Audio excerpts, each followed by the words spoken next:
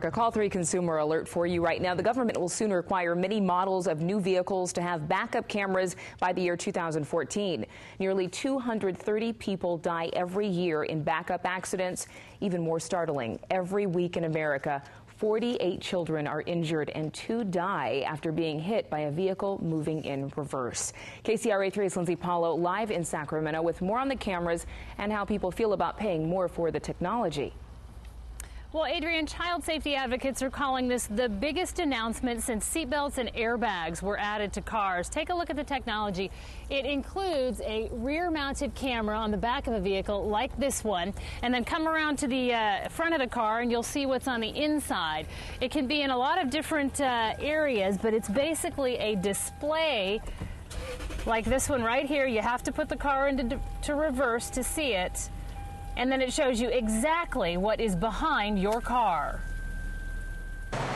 Many new cars like this Nissan Murano already have the technology.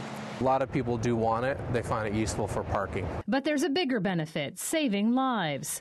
Bigger cars have bigger blind spots. Drivers can't see children behind them. The federal government wants new requirements to improve rear visibility in vehicles weighing up to 10,000 pounds by the 2014 model year. Most car makers would meet that requirement by installing rear mounted video cameras and in car displays. Oh, I think that's a great idea to have that.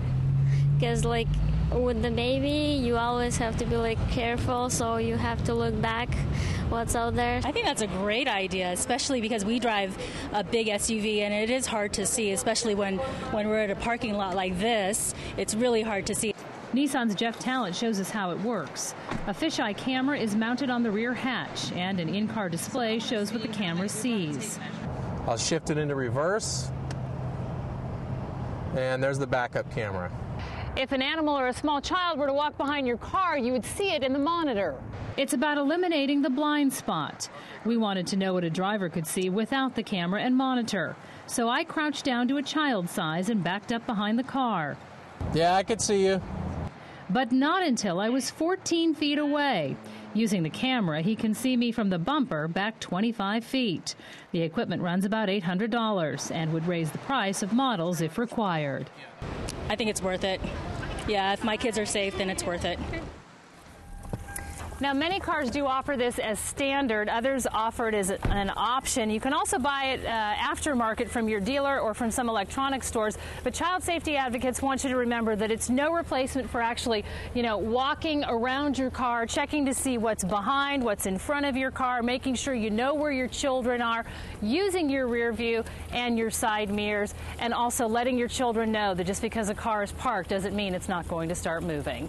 Reporting live in Sacramento, Lynsey Paulo. Now back to you.